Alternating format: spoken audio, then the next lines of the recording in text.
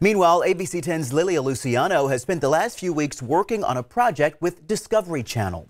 Border Live is a weekly show that documents the work of law enforcement and those who live on the U.S.-Mexico border. They allowed her to embed with officers and special agents.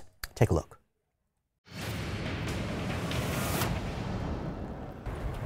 So we heard that there are people crossing now. Did they cross? So they say you just apprehended a person that just crossed to the east of this hill that we're Yeah. at. And it looks like some more are crossing at this very moment. So we're going to go down there and see if we can help them out. Okay.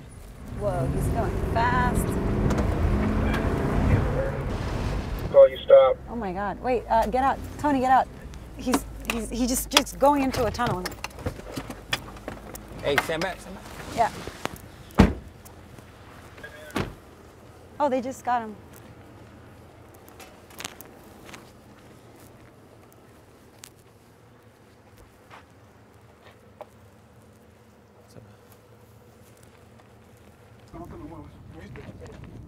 Telling him to keep his hands on his uh, neck and not to move. He said he crossed from Sonora. They're trying to find out from where exactly in Sonora. There's your guy right there. Oh, oh my God, that's the guy with the ladder. That was the smuggler that crossed him. We saw the agent get out of his car and start running around here, and uh, immediately I noticed that he noticed something and he ran over there into that drainage pipe. Uh, I guess that's where he went in and, and grabbed the man to, uh, to pull him back out and detain him.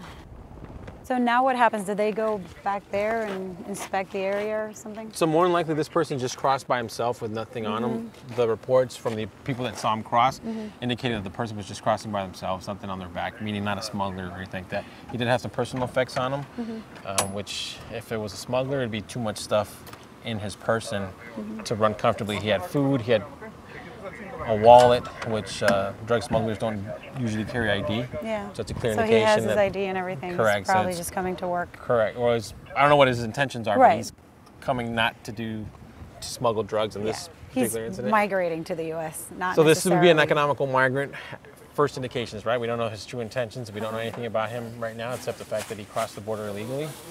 Once he goes back to our station, gets assessed. If he needs further medical attention, we'll provide it for him. Mm-hmm. Most people, like I was mentioning earlier, somebody who's not used to being in law enforcement presence or maybe is a little afraid, Right. they're gonna give that reaction. But he'll be all right.